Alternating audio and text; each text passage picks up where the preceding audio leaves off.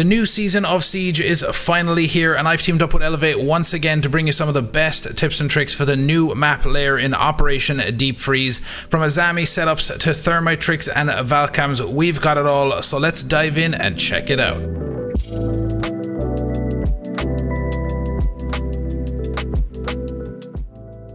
What is happening guys, it's Alan here from the Dangleberries and we're going to dive straight in here checking out an Azami setup for the first floor briefing room.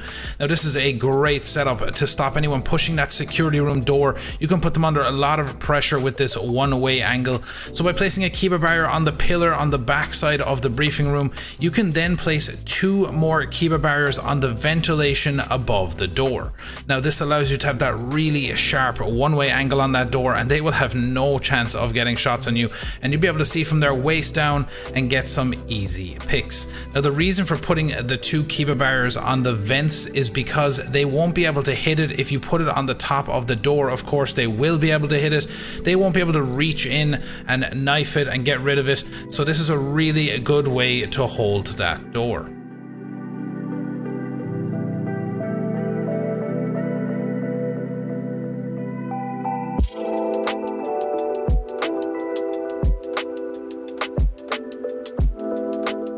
Moving down into missile on the basement level of the map. Now this is a, bit of an unorthodox setup, but it could work for anyone pushing towards that lab bomb site.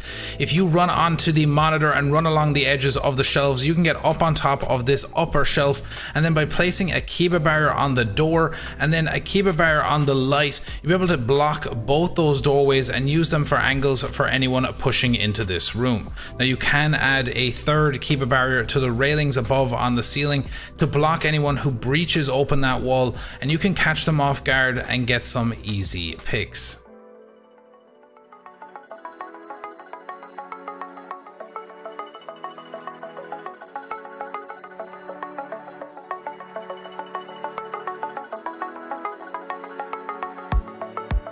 Moving on to the next one guys and I have a very simple hiding spot for you here on the first floor range exit.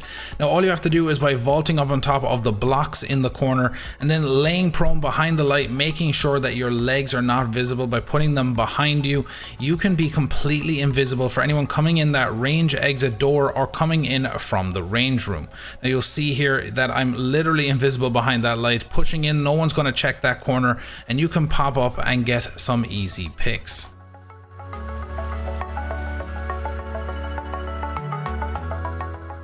Moving on over for a couple of thermite tricks for you. The first located here on the missile lobby.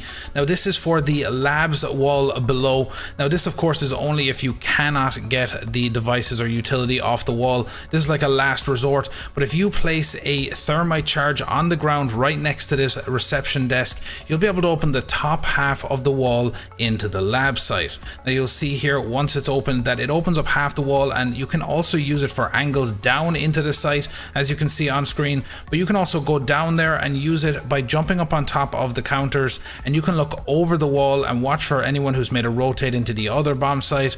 Or you can use it as a good hold position for your teammates to push into the site.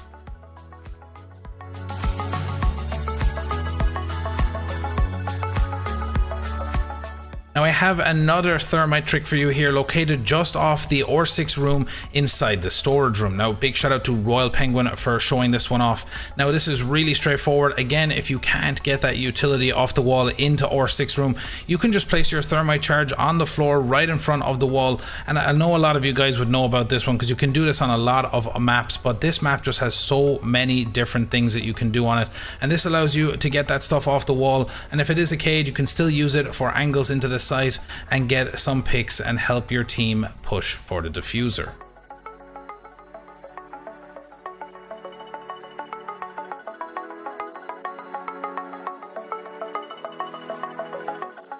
Moving on to the next tricks guys and I have a couple of really good echo spots that you can use on this map. The first of which is outside in the missile lobby. Now what you can do here is upstairs on the mezzanine you can throw an echo drone in behind the missile and it will be in the gap between the pillar so it will be very difficult for attackers to shoot it out and you can pop up and get a lot of intel for your teammates and of course use its ability to disorientate the enemy and you can run out and get some easy picks.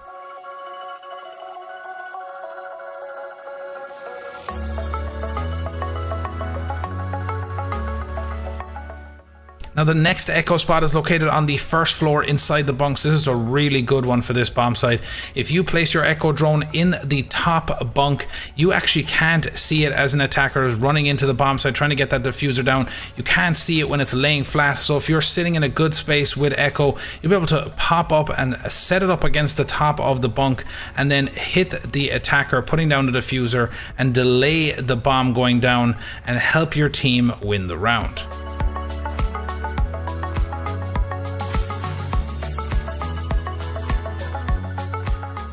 Moving on over onto the next tricks guys and I have a bunch of Valk cams for you to use here. The first of which is inside the lockers room inside the basement. If you place the cam right inside the drone hole you can watch the whole of lockers and the doors coming in heading towards lab and you can watch out towards the warehouse. Now once you have this set up of course you can give so much intel to your teammates of any attackers making their way towards the bomb site.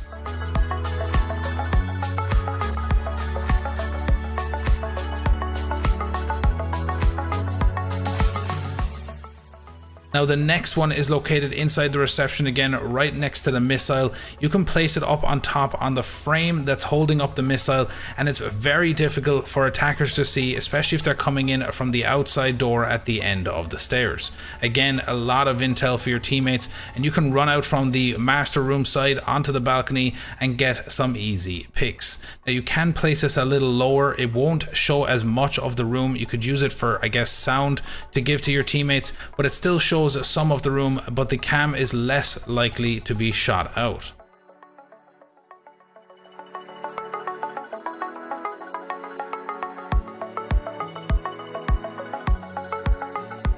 Now this next cam is a very simple one for the filtration room on the basement level. This is to watch for anyone again pushing down the staircase or coming in the window from the basement level to head towards the lab site.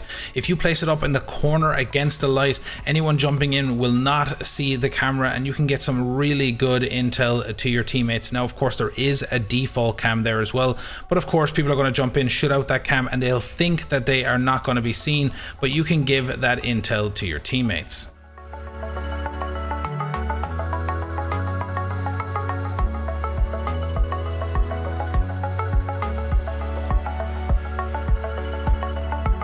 So for these last couple of tricks, this is a really simple mirror setup that you can use for the master and mask room site.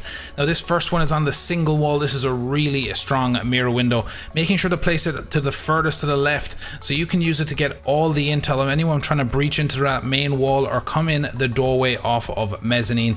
And you can give so much intel and get some easy picks. Now the second one is a little bit of a risky one, but it would be definitely a fun one to try out. If you reinforce the left left wall on that outside wall and then open up the right side of it, you'll be able to watch anyone trying to push that main wall because a lot of people will try to get that wall open and push in and get that diffuser down and you'll be able to hold them off and potentially win the round.